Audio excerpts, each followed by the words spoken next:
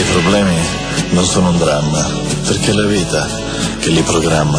E questa vita mi ha messo in vita. Forse quel giorno era impazzita.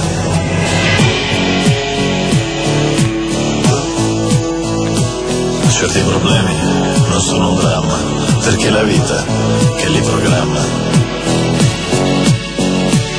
E se lo fa,